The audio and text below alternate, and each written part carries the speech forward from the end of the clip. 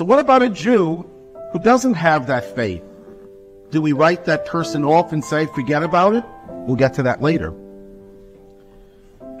But faith has a built-in weakness. And this is where the kernel of truth lies as to why Judaism seems to de-emphasize the role of faith. Because look at the number of people in the world today, just to illustrate the point, who are not just people of faith in God, but they will die for their God. And look what they are doing in the name of their God, in the name of faith.